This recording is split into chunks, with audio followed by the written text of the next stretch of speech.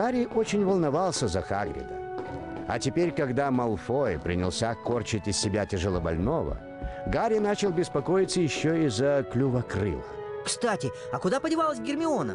Нам уже пора на урок трансфигурации. Хм, вы готовы к уроку? Эй, с тобой все в порядке? Что случилось? Просто немножечко устала. Вот и все. Нам пора на второй этаж, или мы опоздаем на урок трансфигурации. На второй этаж мы можем попасть с помощью портрета. А еще можно пройти по лестнице. Выбирай, Гарри. Второй этаж – урок трансфигурации. Приветствую, уважаемые зрители, меня зовут Иван. Продолжаем проходить компьютерную игру Гарри Поттер и Узник Аскабана. Ну что же, предыдущий эпизод был не столь богат на какие-то сюжетные яркие события. Надеюсь, что в этом эпизоде ситуация поправится в лучшую сторону. Сейчас по сюжету нам нужно попасть на урок трансфигурации, но опять, опять полтергейст Пивс вставляет нам палки в колеса. Нам нужно сейчас с ним расправиться. А потом ты, Рон, применишь карпа ретрактум. На сей раз Пивс облачился вот в такой вот металлический доспех, вооружился палицей и щитом. Для того, чтобы расправиться с ним сейчас, нам нужно всеми троими персонажами воздействовать на него заклинанием Риктус Эмпра, после чего при помощи заклинания Карпа Ретрактум стащить с него э, ту или иную деталь доспеха. Как только он потеряет все свои доспехи, он улетит, и мы сможем э, отправиться дальше на урок э, по трансфигурации. Я думаю, что э, в этом эпизоде мы пройдем исключительно этот практикум, практикум по заклинаниям, которые мы изучим, э, поскольку практикум достаточно продолжительный и, думаю, займет время всего эпизода.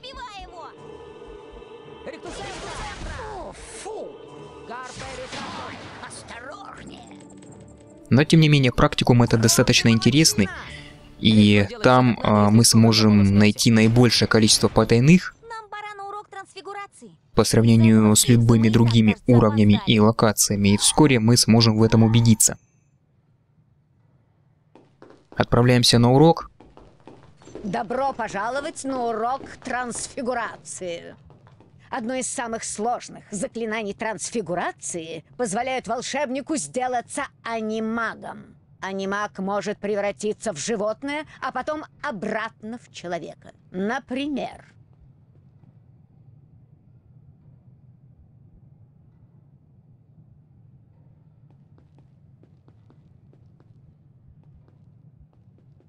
у кого-нибудь есть вопросы? А, Профессор МакГонагал, а оборотней можно считать анимагами? Нет, они не оборотни. Анимаги превращаются в животных по собственному желанию, а оборотень не способен контролировать трансформацию. Теперь переходим к теме сегодняшнего урока. Заклинанием Драконифорс и Лапифорс. Мисс Грэнджер, будьте любезны, помогите мне и классу. Продемонстрируйте нам высокое мастерство. Я? Конечно. Пожалуйста, войдите в эту дверь.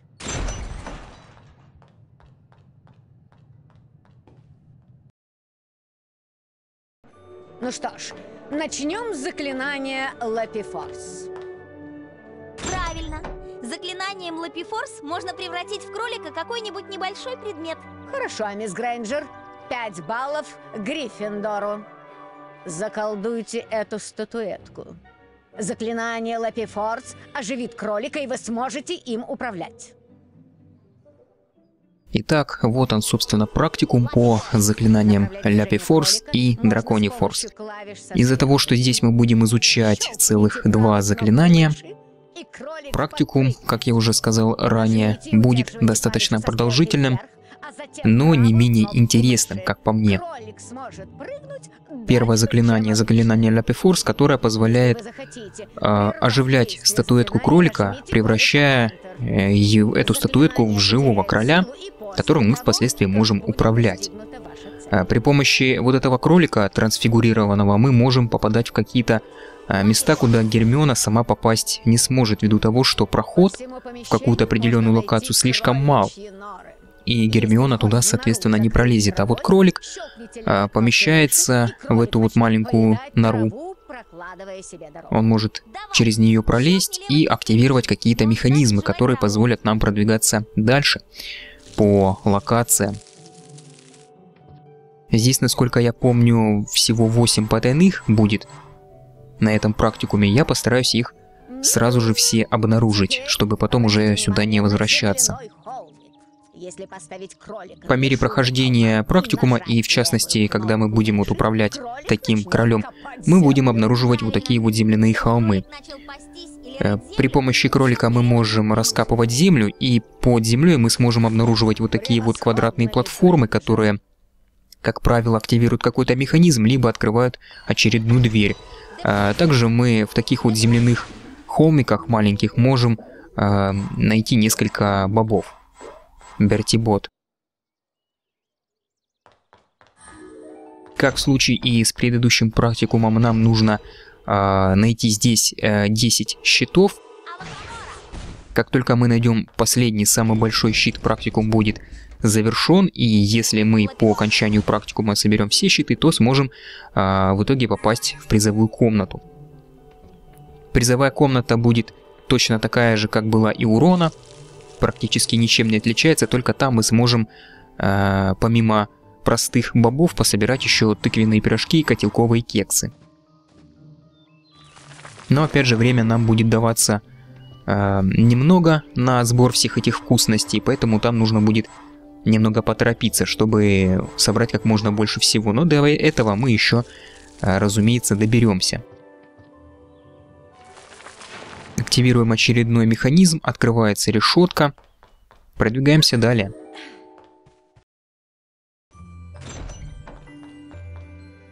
Так, что у нас здесь? Здесь у нас очередная статуэтка. Оживляем ее. Вот, кстати, э, вспоминая Гарри Поттер и Философский камень на PlayStation 1, э, там ведь тоже мы э, изучали одно заклинание трансфигурации, Авифорс, кажется, оно называлось. И принцип его действия был схож с заклинанием Life Peep Force. Там э, мы могли оживлять э, статуэтку птицы. В некоторых местах мы могли находить э, огромные статуэтки птиц. Э, при помощи заклинания Авифорс мы могли эту статуэтку уменьшить и превратить ее в живую птицу. Но там э, этой птицей мы управлять не могли. И заклинание Авифорс использовалось в основном для того, чтобы мы могли попасть э, в какие-то труднодоступные места при помощи него. Но здесь же э, принцип использования заклинания похожий.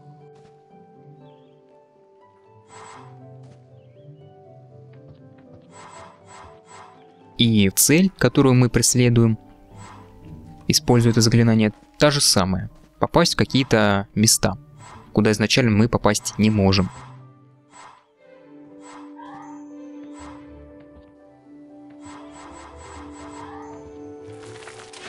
Вот так вот, отлично. Двигаем дальше. Пока мы еще не нашли ни одной потайной, но они будут дальше. Теперь перейдем к заклинанию Драконифорс. С помощью этого заклинания можно оживить статуэтку дракона.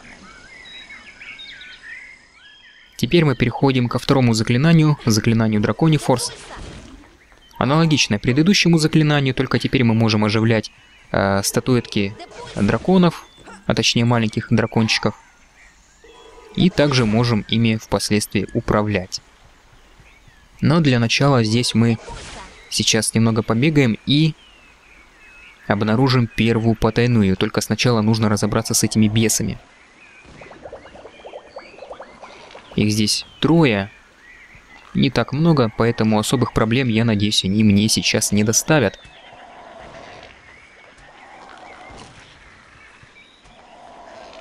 Немного неудобно то, что пространства свободного не сильно много здесь. И вот из-за этих цветов порой я ничего не вижу. Ах ты черт, все-таки попал. Но ничего, я думаю, где-нибудь мы сможем раздобыть шоколадных лягушек и восстановить здоровье. Благо эти хлопушки отнимают не так-то много нашей жизненной энергии.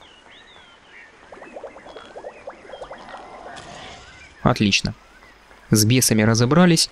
И здесь у нас вот в такой небольшой нише находится сундучок, и это у нас первый секрет на этом практикуме. Теперь можем подняться наверх и воспользоваться заклинанием Дракони Форс для того, чтобы оживить статуэтку дракона. Теперь слушайте внимательно. В процессе выполнения задания вам потребуется, чтобы дракон взял огненный шар. После этого дракон должен взлететь и приземлиться на платформу. И, наконец, нужно зажечь факел. Вот так, мисс Грейнджер. Нажмите пробел. Ваш дракончик поднимется в воздух. Чтобы заставить его повернуть, используйте клавиши со стрелками. После того, как дракон схватит огненный шар, он сможет дышать огнем. Для этого следует щелкнуть левой кнопкой мыши. Запомните, один огненный шар дает возможность один раз вдохнуть пламя. Нас тут хорошенько проинструктировали по поводу заклинания Драконий Форс. Вот таким вот маленьким забавным дракончиком мы можем управлять. И так же, как и кролик, он позволяет э, открывать некоторые двери, но для этого нам нужно зажигать вот такие вот специальные факелы. В данном случае мы активируем механизм, который э, позволяет нам переправиться на противоположную сторону. Здесь находится еще одна потайная. Ну, я бы не сказал, что это потайная, но здесь это именно идет как секрет.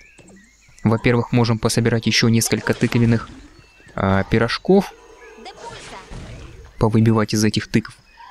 А вот в самой большой тыкве у нас находится очередная коллекционная карточка. И у нас их уже 30 штук, почти половину карточек мы собрали.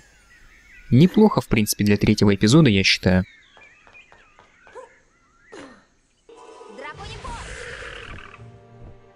Я думаю, где-то эпизодов через 3-4 мы точно соберем весь набор.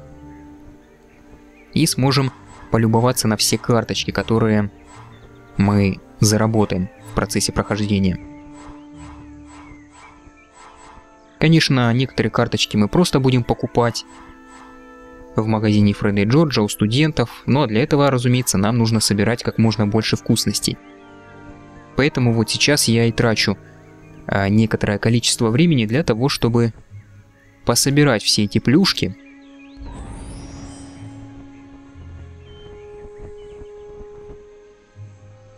Их, конечно, здесь дают в избытке, но чисто для себя, чтобы вот не оставлять все вот это на месте, да, здесь. Я собираю, стараюсь, по крайней мере, собирать абсолютно все.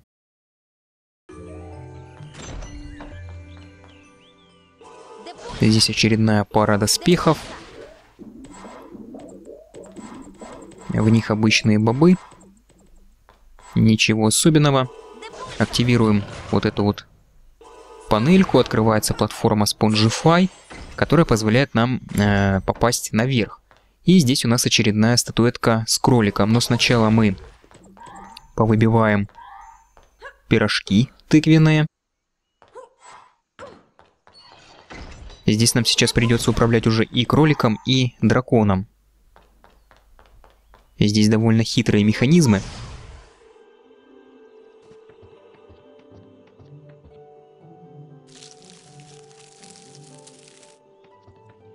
Сначала за заходим кроликом вот в эту вот локацию небольшую здесь. Насколько я помню, также будет одна потайная. Главное ее сейчас не пропустить. Конечно, далеко не все потайные здесь являются обязательными как таковыми. Для полного прохождения я имею в виду. Э, Потому что в некоторых таких секретках мы можем разве что пособирать опять же всякие вкусности. Вот в этой локации, например, это, кстати, третий секрет из восьми. В этой локации мы можем вот погрызть вот эти вот кусты плоские. И из них потом выпадают всякие вот вкусности. И, конечно, вот эта секретка потайная, она не обязательна. И если бы я ее пропустил, и потом бы даже не возвращался сюда, я смог бы также э, закончить игру, в принципе. Но э, я буду стараться показывать все потайные, которые я помню, которые смогу обнаружить. Для того, чтобы сделать прохождение, ну, более-менее полным. А те потайные, в которых находятся карточки коллекционные, разумеется, также нужно посещать обязательно. К сожалению, я не помню точно, в какой а, потайной мы можем собрать там, просто какие-то вкусности, а в какой мы можем а, получить коллекционную карточку. Поэтому я и стараюсь, вот, в частности, по этой причине, исследовать а, по возможности все потайные, которые а, смогу вспомнить и обнаружить. Так, кролик активировал механизм, который э, позволил нам теперь э, оживить статуэтку дракона. И вот теперь вот этим маленьким дракончиком нам нужно зажечь три факела вот в этой комнате. Только сначала я выберусь из стены. Да, у этого дракона есть один минус, он почему-то э, застревает в текстурах, в этих стенах. Это не очень удобно. А в будущем там будет один момент, когда нужно будет, управляя вот этим дракончиком, действовать на время. И вот это вот застревание, оно очень сильно э, раздражает, если честно. Но дракончик очень забавный, особенно как вот он ходит. Мне нравится. Опять же, сначала пособираю всякие плюшки. Нам нужно вот эти вот три факела сейчас зажечь.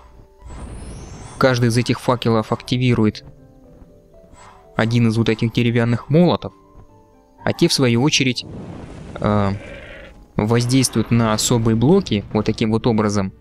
И активировав все вот эти три молота, мы сможем выстроить своеобразную лестницу, по которой Гермиона уже сможет э, попасть на верхнюю платформу и оттуда двигаться далее.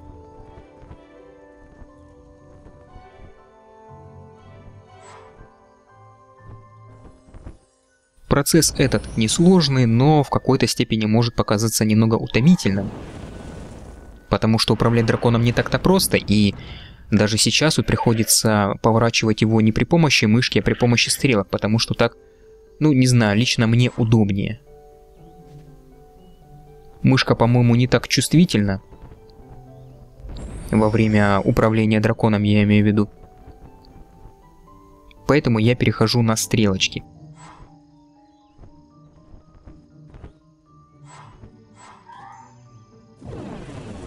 Отлично. Все, вот такая вот своеобразная лестница выстроилась из деревянных блоков. А теперь у нас тут появился доспех рыцарский. Бьем по нему заклинанием депульса, выбиваем несколько бобов, и у нас открывается проход вниз. Это очередная потайная. Четвертая, кажется. Да. Здесь сейчас э, несколько бесов появилось. Расправимся с ними и пособираем вот несколько котелковых кексов и вот еще откроем сундук, посмотрим, что находится в нем. Может, как раз таки там э, будет очередная коллекционная карточка. Вот так, отлично. Но я, опять же, зацепил немного себя. Может быть, здесь будет шоколадная лягушка, это было бы очень кстати. Нет, шоколадной лягушки здесь, к сожалению, не было, только несколько бобов. Ну ладно. В любом случае, где-то дальше должно быть подкрепление для нашего здоровья. На всех практикумах можно найти этих лягушек шоколадных. Так, у нас идет подгрузка новых локаций. Ага. И вот здесь у нас сейчас э, будет серия из таких вот нескольких э, не особо сложных э, загадок, головоломок, Первая такая головоломка заключается в том, что нам нужно вращать вот эти вот а, каменные блоки для того, чтобы на вот э, той стороне, которую мы можем сейчас наблюдать, на всех трех блоках был одинаковый рисунок. После этого открывается одна из трех решеток.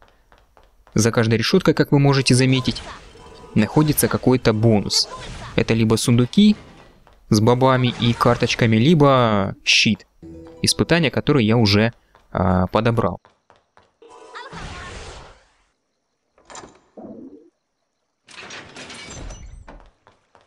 Что у нас здесь? Мисс Грэнджер, это Бандимун. За ним тянется след из зловонной слизи. В нее не следует наступать. Фу, ну и гадость. Бандимуна можно оглушить заклинанием Риктусемпра. На неподвижного Бандимуна можно запрыгнуть. Иногда таким образом можно получить хорошую награду. Учтите, действовать нужно быстро. Вот такое вот странное многоглазое существо нам сейчас встречается. Как нам сказали, это Бандимун. Он плюется, да, вот такой вот противной слизью, зловонной, как нам сказали, но убедиться в этом мы не можем, ибо игра не передает запахи. Но расправиться с ним тоже очень просто, используя заклинание Ректусемпра. Самое главное, а, вот когда после этого самого Бандимуна остаются всякие бонусы, не хватать их сразу, потому что от него еще какое-то время остается вот эта вот слизь зловонная. И попадать на нее, соответственно, тоже не рекомендуется, чтобы не потерять здоровье. Нужно вот так постоять, немножко подождать, пока эта гадость исчезнет. И после этого можно подбирать э, выпавшую плюшку. Здесь же у нас находится кролик, точнее статуэтка кролика. Он нам впоследствии пригодится для того, чтобы забрать один из щитов. Вот над фонтаном. Там находится дополнительный щит. Ну как дополнительный, очередной щит испытания. Но для того, чтобы его взять, нам нужно попасть в другую локацию. Попасть туда можно только э, при помощи трансфигурирован... трансфигурированного кролика. Только сначала дособираем тут то, что осталось. Немного резкое управление у этого кролика, я должен признаться. Не сразу мне удалось э, приноровиться к нему.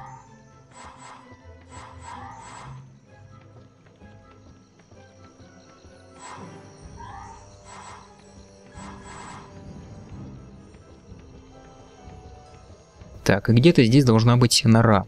Да, вот она, кроличья нора. Проходим сюда. Это, во-первых, у нас очередная потайная. И здесь у нас находится земляной холм, под которым мы обнаруживаем очередную платформу, активируем ее, и вот нам выпадает тот самый щит. А также несколько бобов. Отлично. Здесь мы сделали все, что нам нужно – и можем двигаться далее. А далее нас ожидает группа из нескольких бесов. В очередной раз... Так. О, вот сейчас неплохо вы стали, ребята, давайте покучнее. Вот, отлично. Очень э, здорово, когда они так э, в толпу смешиваются, все эти бесы. И сразу вот за один э, удар, грубо говоря, мы можем избавиться сразу от нескольких бесов. И в качестве награды нам вот дают еще несколько бобов. Так, все, больше здесь ничего нету, двигаемся дальше. Угу, там я вот вижу впереди еще одну потайную с очередной головоломкой. Угу. Открываем платформу Spongify. И попадаем вот сюда, в эту комнату. Шестая секретка. Во-первых, отсюда мы можем выбить пару котелковых кексов. Теперь вот такая головоломка. А, собственно, у нас тут есть три вот такие вот головы. Воздействие на каждую голову заклинанием депульса мы можем вращать а, кольцо. Как вы можете заметить, у нас тут три таких кольца разного цвета. И вот каждая из этих трех голов прикреплена к платформе соответствующего цвета. И вот воздействуя на вот эти вот головы, мы можем вращать вот эти вот кольца. Ну, соответственно, воздействуя на голову синей платформы мы вращаем синее кольцо, на голову с красной платформой красное кольцо и так далее. И вот нам нужно, вращая эти кольца, э, выстроить ряд из э, нужных изображений. И вот э, здесь нам дают подсказки, да, что слева у нас там должны быть тыквы, справа карточки, а сверху щиты. Как только мы выстраиваем нужный ряд в нужном направлении, нам выпадает очередной бонус. Всего таких бонуса три. Это карточка, щит и э, те же самые бобы. Ну и вот это уже, наверное, концовка практикума, можно сказать, окончание. Последний рубеж. Такой вот лабиринт, не особо сложный. Здесь мы сейчас натолкнемся еще на нескольких бандимунов. Также здесь у нас будет а, еще пара потайных последних. И последний щит. Я, кажется, ничего здесь не упустил, пособирал все. Так, ага, здесь парочка этих бандимунов, надо бы поосторожней быть здесь.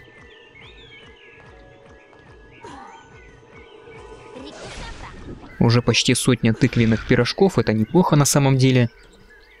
Потому что этих самых пирожков нам придется очень много потратить на покупку карточек, особенно вот у студентов, которые а, по всему Хогвартсу расставлены. Большинство карточек у них можно купить именно за тыквенные пирожки. И вот, кстати, я помню, что в ПК-версии Тайной комнаты а, там тоже были вот а, студенты, которые продавали там всякие карточки, ингредиенты для зелья Вигенвельда и там еще какие-то дополнительные предметы полезные. Но там, насколько я помню, с этими студентами можно было торговаться. То есть, если несколько раз э, подходить к одному и тому же студенту, можно было э, добиться того, что он э, снизит цену на какой-то предмет и купить э, какую-нибудь плюшку подешевле. Здесь такого уже нету, то есть э, за каждую карточку нужно заплатить строго определенное количество там бобов, пирожков или кекса. И самое главное, что эти цены не меняются. Но накопить э, нужную сумму на самом деле несложно. Опять же, за счет того, что в магазине Фредди Джорджа мы можем обменивать бобы, которых нам дают просто тут в огромных количествах на самом деле – мы на них можем обменять э, пирожки, кексы.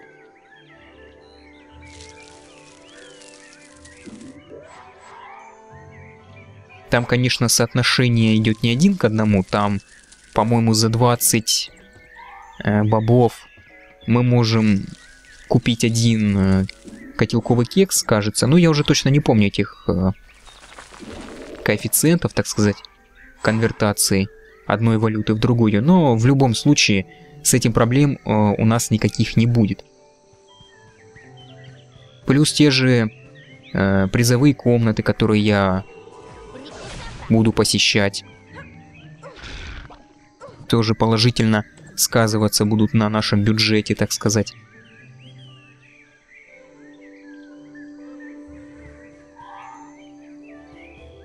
Так, здесь все, да? Кажется, ничего я не упустил. А, нет-нет-нет, я же сюда еще не зашел, да, вот восьмая потайная, последняя.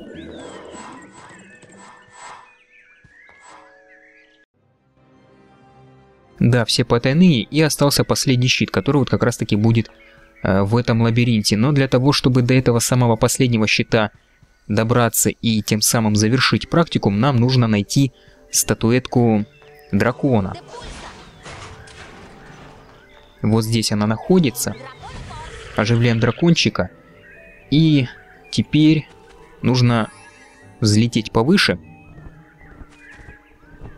Во-первых, мы тут можем пособирать еще всяких вкусностей, и вот вверху там у нас находится огонь, при помощи которого мы сможем э, зажечь факел. А этот факел, насколько я помню, откроет дополнительную платформу Spongify. Запрыгнув на нее, мы попадем к последнему щиту. Да, вот он. Я его уже вижу. На вот этой небольшой башне он располагается. Уже более 700 бобов я насобирал. Тут уже и до тысячи недалеко. Ну что ж, это хорошо. Довольно быстрыми темпами мы продвигаемся, несмотря на то, что прошлый эпизод э, мы практически никак не сдвинулись по сюжету. В основном собирали всякие... Точнее, не, не собирали, а находили всякие потайные, выполняли э, задания дополнительные. Но в любом случае это положительно сказывается на прогрессе игры общем.